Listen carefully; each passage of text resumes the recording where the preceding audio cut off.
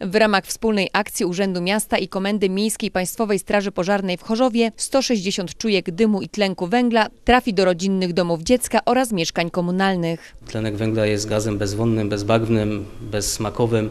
Praktycznie nie ma innej możliwości, aby go zdiagnozować, że występuje w niebezpiecznym stężeniu, a jest on dosyć podstępny, ponieważ niskie stężenia nie dają od razu dużych rezultatów. To są lekkie bóle głowy, zawroty, natomiast przy bardzo dużym występowaniu stężenia może nastąpić śmierć w ciągu kilkunastu czy kilkudziesięciu minut. Namawiamy mieszkańców, namawiamy e, wszystkich, aby tam, gdzie są te urządzenia grzewcze na paliwo stałe, czy też e, piece gazowe, te urządzenia montowali. Bardzo ważnym elementem jest również oprócz e, montażu czujników tlenku węgla czy czujników dymu, aby zapewnić prawidłową wentylację, bo bez tego też nie będzie, nie będzie to prawidłowo funkcjonować. Akcja Czujny Chorzów prowadzona jest od 2014 roku. W tym czasie strażacy rozdali ponad 450 czujników.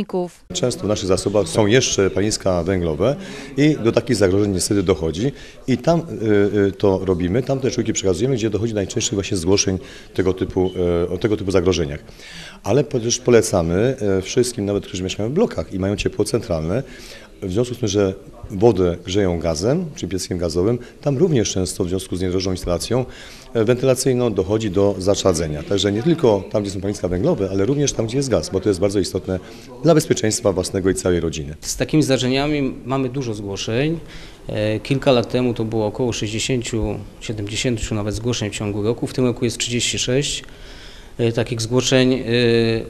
Ta ilość zgłoszeń jest, nas wbrew pozorom cieszy, ponieważ się okazuje, że no jest to w pewnym takim pewnym znaczeniu y, odzewem na naszą akcję i na uświadamianie ludzi o tym, że e, trzeba zgłaszać. E, Były takie przypadki kilka lat temu, że mm, no, ludzie nie zgłaszali, bo nie wiedzieli, y, y, czego objawem są na przykład ich złe samopoczucie, dochodziło do faktycznie zgonów, do ofiar śmiertelnych.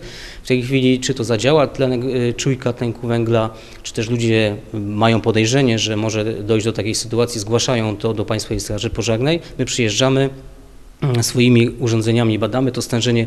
Mamy też urządzenia zakupione, które badają stężenie tlenku węgla w wydychanym powietrzu, także możemy od razu na bieżąco sprawdzić, czy doszło faktycznie do emisji tlenku węgla, ale również czy ludzie e, zostali zatruci tym tlenkiem. Zakup czujników finansuje miasto. Tegoroczna akcja kosztowała 16 tysięcy złotych.